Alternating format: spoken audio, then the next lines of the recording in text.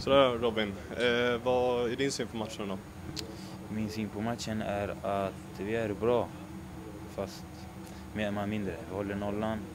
Visst, vi kan få bättre målchanser eller skapa mer målchanser, men vi det bra eftersom de har ingenting.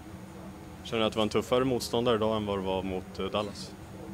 Eftersom vi hade en, match, eh, en man mindre så var det lite tuffare.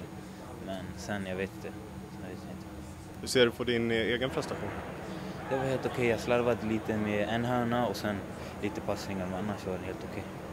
Jag tycker personligen att du har haft väldigt bra form de senaste matcherna. Tror du att det har berott mycket på att du har match i benen från januari-turneringen?